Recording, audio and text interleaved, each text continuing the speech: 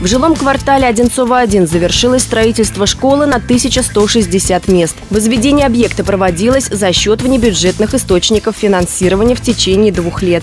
Трехэтажное здание новой школы на улице Ракетчиков общей площадью более 15 тысяч квадратных метров вмещает 47 классов, залы для занятий спортом и проведения мероприятий, лабораторные и кружковые комнаты, библиотеку, столовую, медпункт.